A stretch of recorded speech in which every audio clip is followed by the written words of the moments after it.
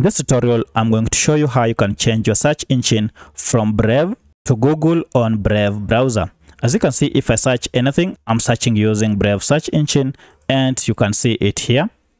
The logo is here. To change this to Google, it is quite simple. First go and tap on this menu icon here and then scroll down until you see settings and then click on it.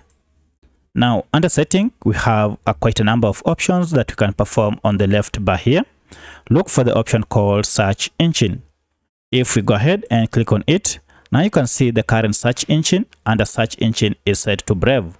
To change this, go ahead and click on change and then choose your preferred search engine you would like to switch to. For my case, I want to switch to Google. So I'll select it and then go ahead and click on set as default. And now you can see it has changed. However, we have other private window here. It is set to use Brave. Just leave it as it is. This is for private browsing. Now, if we open a new window, you can see the search engine now is set to Google. So that's how you change your search engine on Brave browser from Brave search engine to Google. If you have any other question, kindly let me know in the comment section. Otherwise, if this video was helpful to you, kindly hit the like button and subscribe to this channel to support me. Thanks for watching and let's meet in the next video.